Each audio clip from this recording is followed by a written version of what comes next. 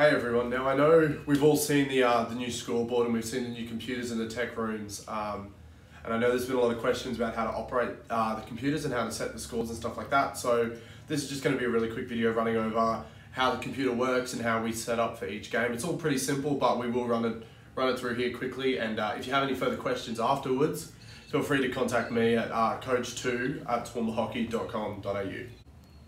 toowoombahockey.com.au. Alright, so if you come in and we're on the uh, home screen like this, what we want to do first is we are using the UltraScore terminal. So if you go down to the bottom, the little white sheet, we want to click on the white one of them, takes us to this screen. Now, when finding your, your game, what you want to do is we have all of the divisions list, listed here. So under 13 girls, all the way through to uh, A2, A2 men, and we will add A1 men and women when the time comes for that as well. So what you would do is click whichever division is the next game on the on your field and then typically you'll have the games loaded in. So if we go to maybe an A3 men we'll see there's multiple games loaded in uh, and you would simply select your game. But on the rare case that your game hasn't been loaded in what we want to do is go down to the bottom right here where it says new. We click on that and we're actually able to create a new game. So what we do there is we would head down and pick out two teams. Now all the teams for each division are loaded in. So you would just have to find whichever two teams are playing. So for example here we can go Norths versus, uh, let's go Newtown. Okay, then you click OK and that game's loaded up here now ready to rumble. Um, each division has all the correct teams in it, so you just have to find, find the teams. You don't have to create any new teams or anything.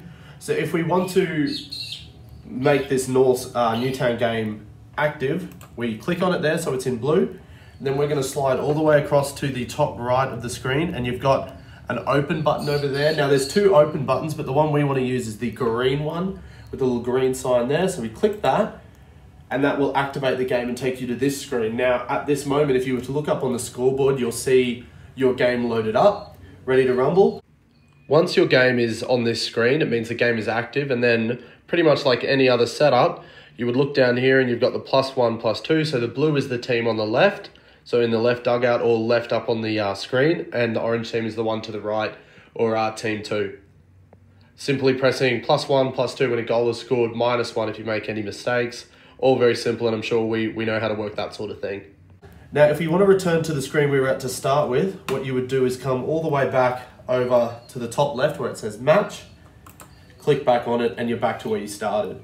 Now, when your game concludes, or to set up the next game, you would simply go back over to the top right here. There we go. And click the close with the red X. There's again another close a little bit lower, but we want the red X close. You would click that and it would shut off the game and would also remove it from the scoreboard and you're ready to set up your next game. And that's it.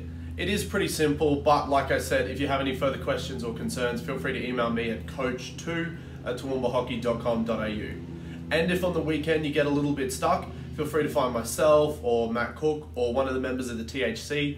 We should all be pretty familiar with how to use it and we'll be able to help you out. Thank you very much, guys, and look forward to seeing you out and about this year for hockey.